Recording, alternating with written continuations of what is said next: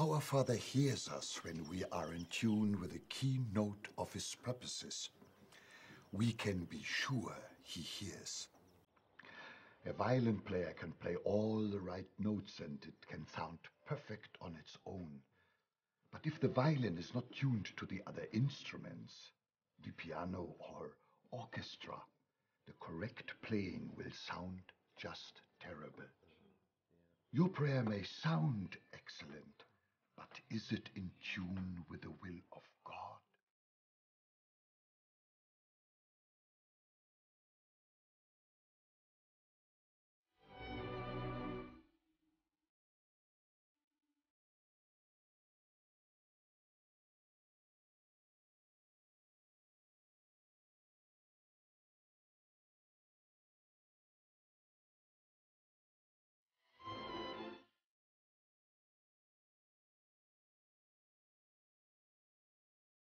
Christians have a world to reclaim and regain for God. The enemy has brought about vast destruction, death, and wickedness. Prayer opens up God's armory with its superior weapons. If we think we don't need to pray, then we don't know what we are up against. If we think that we can manage on our own achievements, then we simply make ourselves the devil's laughing stock. To be prayerless means to be defenseless. The first key to effective prayer is simple cherish the Word of God. Let's read from John chapter 15, verse 7. If you abide in me, and my words abide in you, you will ask what you desire, and it shall be done for you. To pray, simply follow the ground rules. There are conditions, but none that are so impossible to fulfill. Ask with faith in God. We cannot ask too much and blow a fuse by overloading the demand on divine help. Ask. That is Christ's command. So you cannot be outside the will of God by asking, but you can be if you don't ask. Don't come apologetically in case you are asking inappropriately or outside God's will. Our job is to ask anyway and let God decide how to act. It will not upset him whatever we ask. We can worry so much about God's will that we never have any faith at all, or maybe never pray. We have made it such a mark of high piety to ask only for what God wants that it contradicts what Jesus said in John chapter 15, verse 7. Ask what you desire, and it shall be done for you. Intercession has always been a crucial component for us when preparing for our gospel campaigns. I learned the importance of intercession as a young man, and I learned it in a way that I could not easily forget.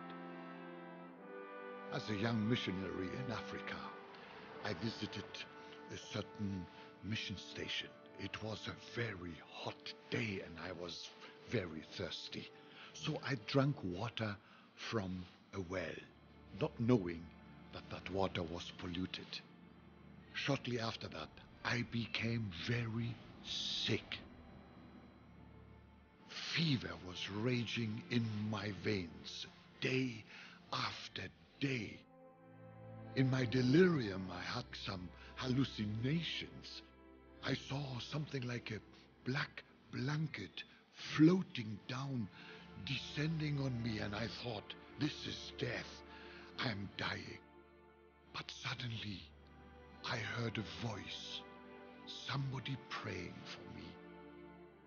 It was the voice of a lady in my father's church, 8,000 kilometers away, there in North Germany.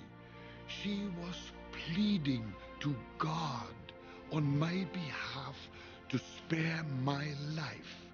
And that moment, the fever broke.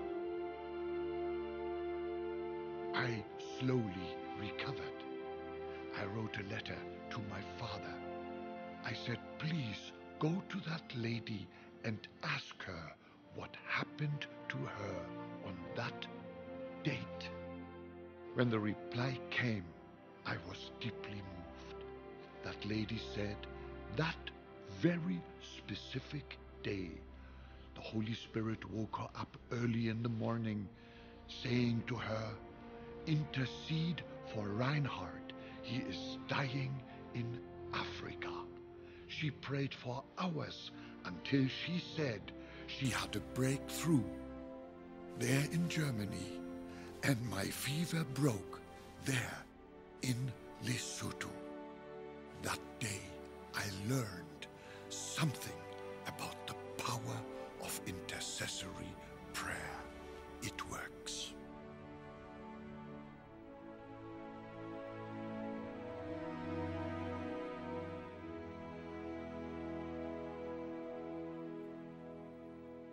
Let me give you four points on the requirements of an intercessor. Number one, a true intercessor must have some standing with both parties. As I have already said, we know people, but we must also know God. Abraham is a good example of someone who knew God. The cities of Sodom and Gomorrah had become morally perverted, so God proposed to remove them. He said, Shall I hide from Abraham what I am doing? When Abraham learned that these two cities were listed for destruction, he took up their case with God and went a long way along the road to saving them. He was qualified because he knew God and the cities. He was called the friend of God. Why? James says, Abraham believed God, and it was accounted to him for righteousness. Yes. And he was called a friend of God. Believers, they are to be his intercessors. That is what Scripture means by a friend. Jesus said, No longer do I call you servants but I have called you friends, for all things that I have heard from my Father, I have made known to you. A friend intercessor will have the mind of the Lord, who tells us nothing for mere interest, but for us to pray about it.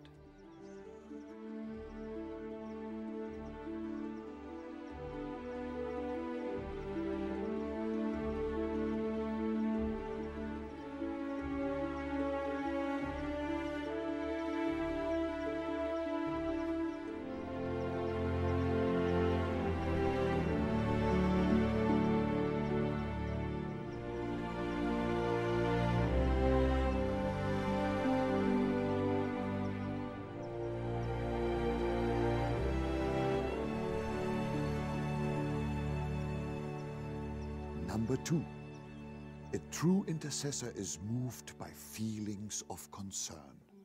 The story in Exodus 32 is a strange episode, but shows us the heart of a true intercessor. Moses was angry over Israel's idolatry. Israel had escaped from Egypt after a fantastic display of omnipotence that would make God seem physically near. Above them towered Mount Sinai with its cloud of God's glory concealing Moses, who had ascended to speak with God. The people thought he had deserted them. Their simple minds were soaked in the superstitions of Egypt and its gods, and so they made a golden calf to lead them back to the house of bondage. The Lord said he would put an end to them because of this appalling lapse and begin a new nation through Moses. Moses' first reaction was to send swordsmen to rid Israel of the ringleaders. Then his pity overcame his anger, and he besought God to save the nation God called a stiff necked people. Yes. Then In Exodus 32, Moses called them your people. Moses pleaded, Oh, these people have committed a great sin. Yet now, if you will forgive their sin, but if not, I pray, blot me out of your book which you have written. Here words failed him. Such was the force of his compassionate outburst. He offered to die as an atonement for Israel's sin. His offer was turned down because only the Son of God could atone for sin. But this is still an example of true intercession. This proposal was unsolicited. Moses had not been pushed into it. He had brought this rabble of tribes to nationhood like a woman bringing a child into the world. They broke his heart, but he still defended them from the inevitable disaster of their own folly. We pray for Christian revival. Why? To see the church full, pay the bills, ease the labors of evangelism as a religious duty. Look at the pitiful attempts of Christless people to save themselves, making their own impotent gods. Let us weep for them. Let us cry out to God. God is moved when our hearts, not just our mouths, are moved.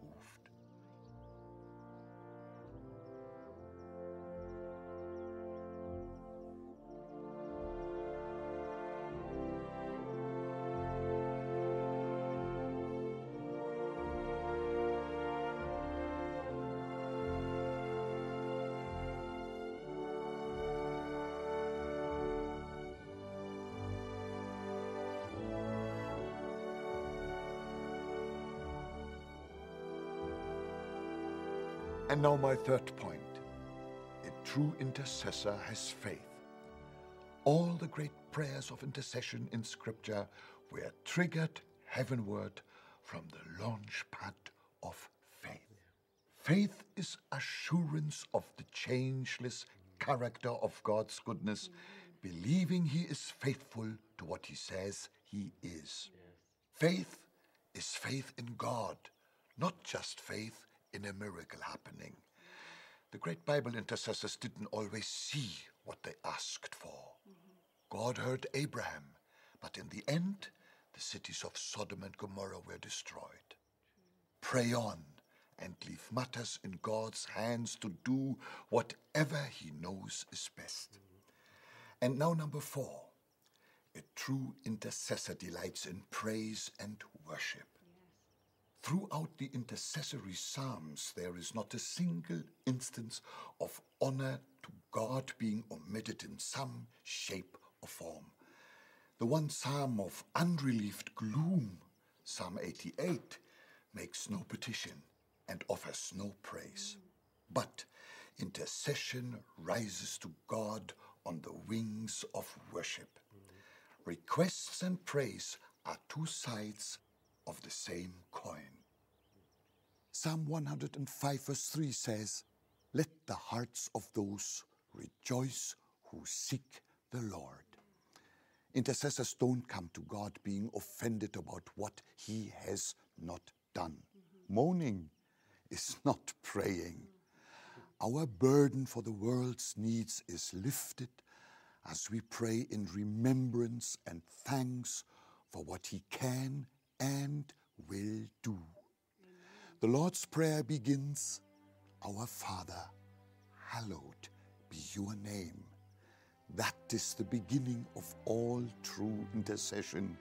And the end is For yours is the kingdom and the power and the glory forever and ever.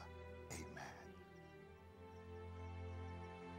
I exhort first of all that supplications, prayers, intercessions, and giving of thanks be given for all men, for kings and all who are in authority. For God our Saviour desires all men to be saved and to come to a knowledge of the truth. To save a nation, you start with intercession. That is where half the work is done. Someone else may stand in the limelight preaching the gospel while you are in the back room supporting him or her with prayer. But those are the kind of people that God notices.